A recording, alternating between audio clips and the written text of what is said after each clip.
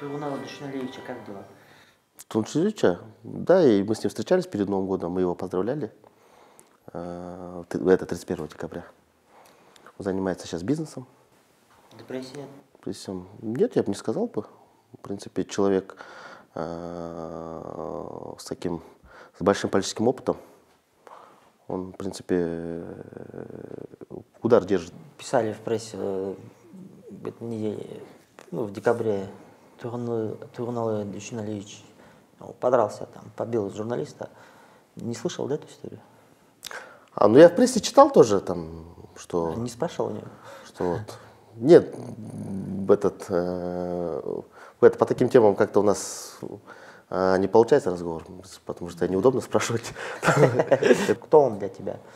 Как ты его называешь? Э, Тунал Душиналевичем, э, это мой наставник, это мой учитель, я могу сказать. Я был у него общественным помощником был, когда он еще работал в Министерстве здравоохранения, работал председателем ЦИК. И э, я бы сказал, что у нас вот именно был совместный бизнес был. Абдраимов не твой учитель э, по выборному процессу.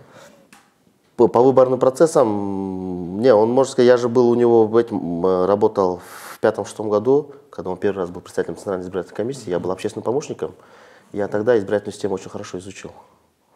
Вот, а уже в одиннадцатом году, когда он стал председателем Центральной избирательной комиссии, он, он меня попросил, а потом, когда по системе у нас получилось, что э, нужно было создавать единую бишкекскую ТИК, вот, тогда я в члены вошел, но я председателем тогда не, э, не претендовал, честно говоря. Это вот уже члены комиссии меня избрали. Ну, они знают, что ты человек Абдраимова. Э, Они знали, да, тогда знали. Ну, как сейчас выборы? Э, вроде бы карусели закончились, сбросы тоже говорят. А как бороться с подкупами? Я призывал, по-моему, там, вот если голоса продают от тысячи до трех тысяч сомов, там говорят они, вот, что такие ставки там. Но если это посчитать на количество дней, которые, именно на которые избирается депутат, да, это вот получается там где-то 1500 дней, да?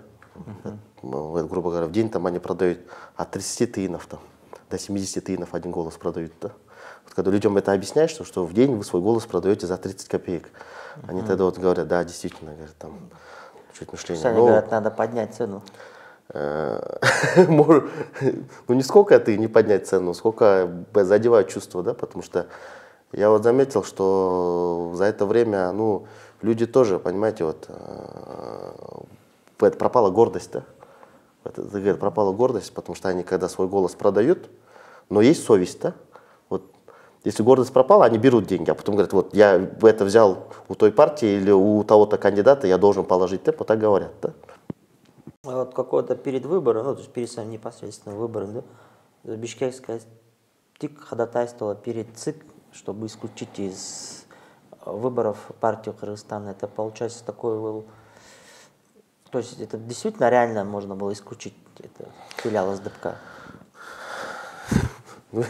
Ну, то, что филиал ЗТПК, это, конечно, вопрос еще открытый, конечно. Потому что это же отдельная партия, там тоже есть свои лидеры, там члены политсовета. Там, они к нам приходят как отдельная партия, э, в это, когда они регистрировались. Что за бардак происходит в Вайлбанке? В Вайлбанке. Нет, В Вайлбанке все хорошо сейчас. Но Джейнбаева все-таки сняли. Джимбаеву, да, потому что у нее это были грубые нарушения именно банковского законодательства. И э, она не оправдала это то доверие, которое оказал и совет директоров, акционер оказал. Совет директоров снял ее с должности, потому что она понизила бонусы. Не, она неоднократно, она неоднократно лишала бонусов. Ты веришь, что у, Шар- у Сарпашева есть такая волшебная кнопка, которую он нажимает и может менять результаты выборов? У Сарпашева? Да. Да нет, как. Я удивляюсь вообще, вот когда некоторые депутаты Джо Кенеша у нас ты заявляют и делали, ты запросы делали. Вот. Как отличнику экономику я хочу задать такой вопрос. Что Кыргызстан может извлечь из экономической политики Дональда Трампа? Дональда Трампа? Избрание Дональда Трампа? Ну, как он президент. У него же есть экономическая программа. Ну, экономическую программу Дональд, это, Дональда Трампа, э, Я бы не сказал, что вот я ее знаю всю, вот, экономическую, но определенные на постсоветское пространство, конечно, именно избрание Трампа, она окажет, я думаю, в ближайшем будущем существенное влияние. Это проамериканская, э, проамериканская эта политика, она, конечно, тоже там, это вливание денежных средств, но в последнее время мы это и наблюдаем, вот, после вывода американской базы, что деньги приходят через э, неправительственные организации там, на определенные цели, да, там, не развитие там идет там какое-то, а, скажем, там идет на мониторинг, да, например, там, вот, того же избирательного процесса. Мы часто сталкиваемся с ними. Там, эти неправительственные организации сейчас вот, э, которые ты наблюдали за ходом выборов, не находя три нарушения, они потом начинают из пальца высасывать три нарушения, видимо, для своих отчетов и для своих спонсоров, наверное.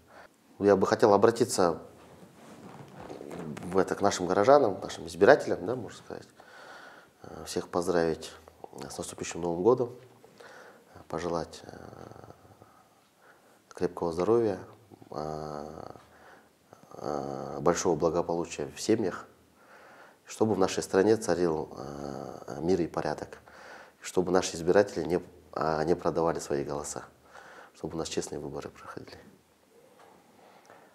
За 30 тынов. За 30 тынов или за 50 тын в день.